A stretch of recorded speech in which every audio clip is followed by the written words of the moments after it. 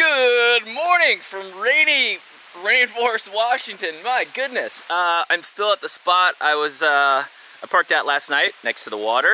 Um, I can't tell you guys the GPS locations, not because I don't want to, because I have no service up here and uh, GPS isn't really working.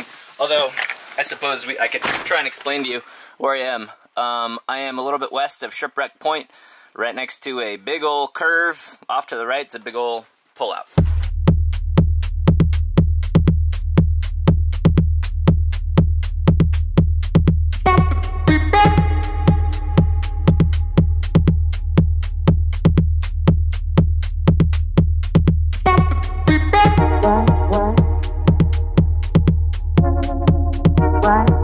This is what happens when you uh, forget to close the drawer here. Everything comes flying out when you're driving down the road.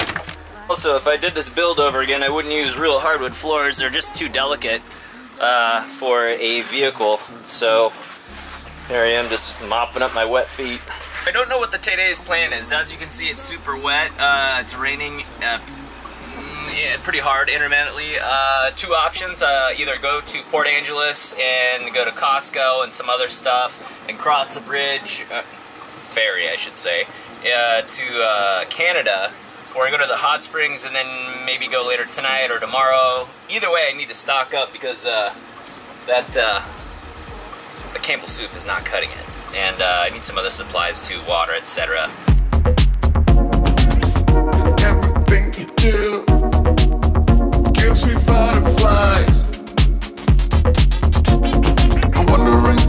got for me. Cutter. Gonna grab groceries on the count of one, two, and three.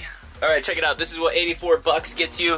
I got some bread, all organic. I got more of these good soups because, well, they're good. Also, ton of frozen veggies. Like I said, trying to, you know, lose a little weight, get back to my comfortable size where my pants fit me. Six uh, things of water, and my guilty pleasure. Guys, this is like probably gonna be a little bit on the disgusting side. These cheap, spiced giant calamari. They're like so good and they're in oil. I don't know. Call me weird. Anyways, so let's go to Canada. This is where the ferry will come and pick us up. Uh, I paid 80 bucks to these fine people at the Black Ball Ferry line. Reservations can be recommended when it's busier, but this is uh, the setup and the scene. Dan the Adventure Bus is in the back. We got some bigger RVs. By the way, it was 80 bucks. 80 bucks. 80 freaking dollars for one way just to go to Canada. Um, Canada, you better be worth it. This is the first time I'm going on a ferry ride ever, and it's also the first time Dan the Adventure Bus is going on a ferry ride. So how cool is that? Well, I better pay attention here. You leave your vehicle there, you jump inside the stairs, and you go to the lounge, I guess. Here's the uh, rooftop. So, pretty cool. I think it's about a um, 90 minute ride, and then we'll be in Canada, land of maple leaves, mooses, and healthcare.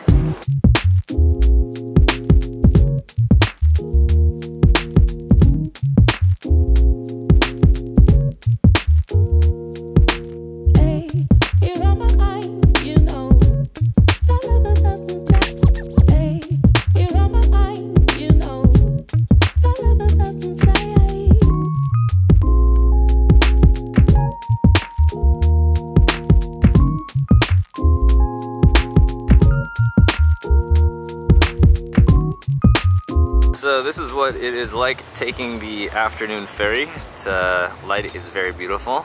I'm outside here on the deck. It's a little wet. Got a nice big old barking dog over there. And uh, I would say, pretty smooth ride.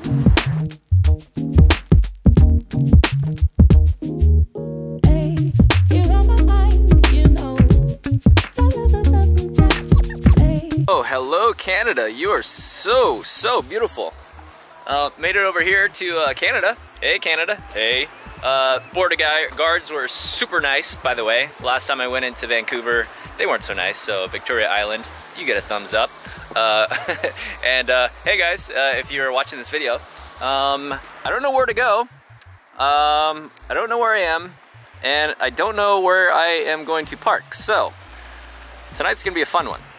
But look at that sunset. Isn't it pretty?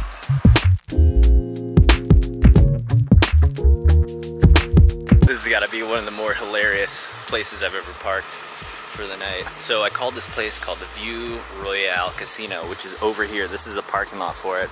And I inquired about sleeping overnight in the parking lot because that's a common thing. And the nice security person was like, well, we're under construction in the parking lot, but there's a cul-de-sac at the end of the, the way. So here I am, right there. Um, so it's a pretty quiet little spot.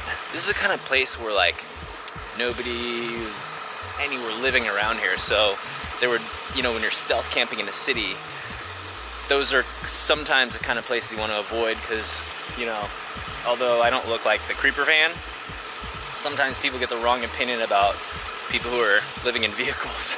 So anyways, long story short, this is my spot for the night. And I obviously will let you know if there's any problems. I don't anticipate any. Um, and I'm looking forward to tomorrow. Tomorrow's gonna be an awesome day. We're gonna be meeting up with uh, Forrest, Forrest the filmmaker on Instagram, and we are gonna make a video for his channel. He has uh, vehicle dwellers, tiny homes, stuff like that, vans, buses, um, all that good stuff. Uh, also, that was a score at um, at Walmart with these vegetable things. I did a not even a whole one of these things. It was so cheap too. It was like $1.88 or two bucks or something with one of these Amy's Organics. And I gotta say, Amy's is way, way so much better than the Campbell stuff. And also, it's a lot cheaper at Costco, so I'm gonna try and stock up on this over there.